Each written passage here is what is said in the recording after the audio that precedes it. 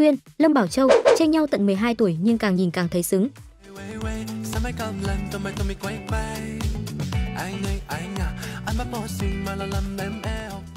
Chiếc bạn trai xứng đáng điểm 10 khi dùng cả tính mạng để chụp ảnh cho người yêu. Lâm Bảo Châu 3 phần bất lực, 7 phần như ba khi làm host mà phải đối diện với người nhà.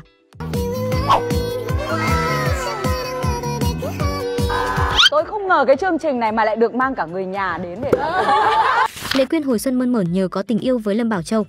Hết đưa anh đi trốn lại lên top top khoe khoảnh khắc ngọt ngào. Chị tiền giờ không thiếu, tình thì có đủ, dân mạng chê chính là đang ghen tị.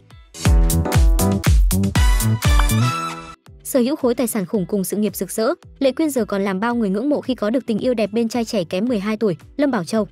Cặp đôi lúc ban đầu công khai yêu nhau còn nhận về nhiều tranh cãi, bàn tán. Nhưng lâu dần thì người ta cũng thấy, hóa ra Lệ Quyên và Lâm Bảo Châu bên nhau lại đẹp đôi và ngọt ngào tới vậy.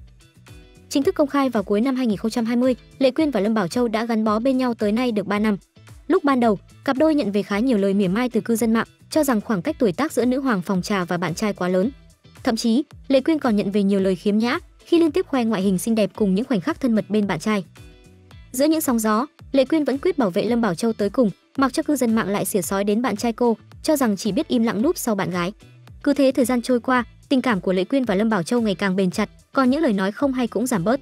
Giờ đây, cặp đôi đã nhận được nhiều sự yêu mến hơn từ công chúng, đồng thời trở thành couple chị, em đẹp nhất nhì showbiz Việt. Phải nói rằng từ ngày có tình yêu với Lâm Bảo Châu, Lệ Quyên yêu đời và trẻ hẳn ra. Nhan sắc xinh đẹp, tươi xanh mơn mởn khiến nhiều người không nghĩ Lệ Quyên đã quá tuổi 40. Nữ ca sĩ sở hữu vóc dáng săn chắc, vòng eo nhỏ nhắn đến mức diva Mỹ Linh còn phải ghen tị. Đây không chỉ là thành quả của sự cố gắng tập luyện của Lệ Quyên, mà còn có công của Lâm Bảo Châu khi anh thường xuyên bên cạnh đốc thúc bạn gái. Không ít video đăng trên top top của Lệ Quyên cho thấy cô có người bạn trai rất quan tâm, lo lắng cho cô từ chuyện ăn ngủ nghỉ đến việc rèn luyện sức khỏe. Cả hai còn thường xuyên đi du lịch giải tỏa căng thẳng, đồng thời dành cho nhau phút giây thư giãn, ngọt ngào. Đối với Lệ Quyên, giờ tiền và sự nghiệp đều đã có đủ, thì chẳng tội gì không tận hưởng tình yêu bên bạn trai. Cư dân mạng dù có nói ra nói vào đến đâu, cũng chỉ chứng tỏ họ đang ghen tị với cuộc sống hoàn hảo của cô mà thôi. Từng bị chê là ham giàu nên mới yêu người hơn tuổi, song Lâm Bảo Châu đã chứng minh được anh đến với Lệ Quyên bằng sự chân thành. Không ít khoảnh khắc cho thấy nam nghệ sĩ rất cưng chiều bạn gái, đi đâu cũng hộ tống đến tận nơi, bất kể là đi diễn hay dự sự kiện. Lâm Bảo Châu xứng đáng điểm 10 không có nhưng, bởi anh chàng rất hết mình khi làm phó nháy quay chụp cho Lệ Quyên. Có chiếc clip cho thấy sự dễ thương của cặp đôi khi Lệ Quyên muốn quay video ở góc phố và Lâm Bảo Châu đã lia máy theo bằng tất cả tính mạng của mình. Không rõ video cuối cùng có đẹp hay không, nhưng chiếc clip hậu trường đã rất ngọt ngào, đủ làm người hâm mộ lụi tim rồi. Và một điều đặc biệt nhất trong thời gian gần đây, đó là cả Lệ Quyên và Lâm Bảo Châu cùng tham gia chị đẹp đạp gió rẽ sóng. Nếu Lâm Bảo Châu làm host của chương trình, thì Lệ Quyên lại trở thành thí sinh thi hát.